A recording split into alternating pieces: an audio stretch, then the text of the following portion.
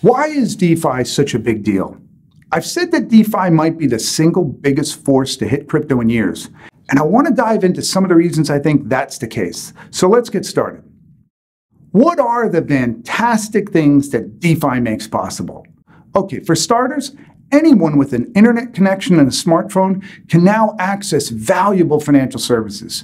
Financial services delivered across borders without interruption. Another wonderful aspect of DeFi is creating fungible collateral out of the digital assets you own. And once you do that, the next step is being able to borrow against those assets. There really is no other way to do this but on a blockchain, because only on a blockchain can everyone be certain that the digital assets you're pledging as collateral are genuine. Now, that fact, the ability to near instantly validate that a digital asset is authentic, is a powerful part of the DeFi story. Remember, gold does not self identify. It doesn't say to everyone, look at me, I'm gold and I'm good collateral. How do you know if someone pledging a box of metal is giving you real gold? Well, you don't, unless you do a lot of work to test it and then safeguard it. DeFi digital assets don't have that issue. And because these blockchain digital assets can be quickly and cheaply certified as authentic, you can get liquidity on those assets much faster than ever possible in the traditional finance world. A couple of other wonderful things with DeFi. All of the collateral and lending contracts you enter into are fully transparent. They're fully transparent because they're software code code that has been reviewed and scrutinized and written about in forums and blogs for everyone to see. Nothing is hidden. Now compare that to modern banking. One other aspect of DeFi I like is the fact that it's not dependent on taxpayer insured banking deposits.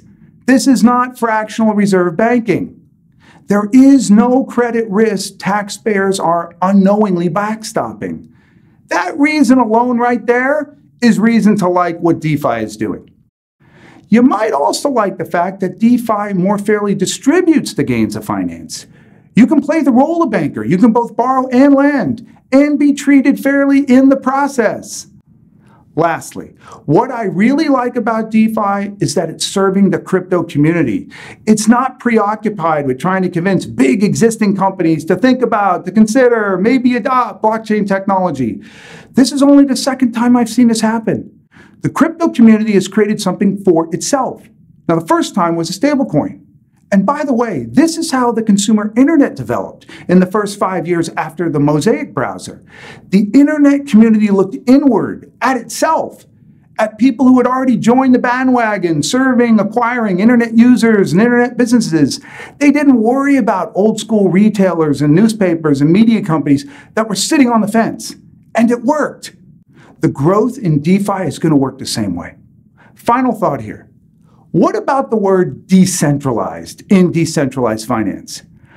I judge decentralized or decentralization based on one key principle.